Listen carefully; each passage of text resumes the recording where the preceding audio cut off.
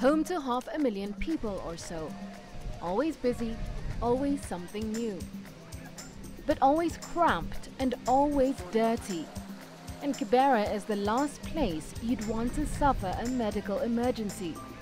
This is what your typical road in Kibera looks like. Narrow and not built for cars, with the rainy season making them even more impassable.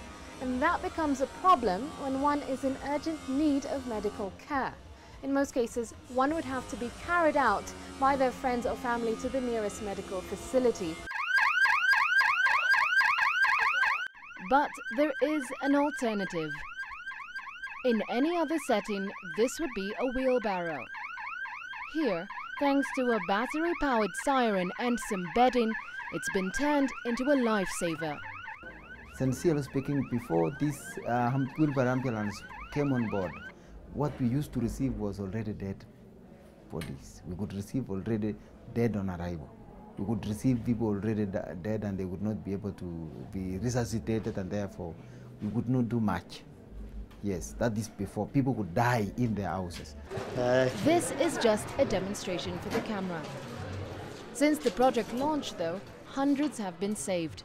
Women in labor are frequently the patients and community health volunteers also play a key role.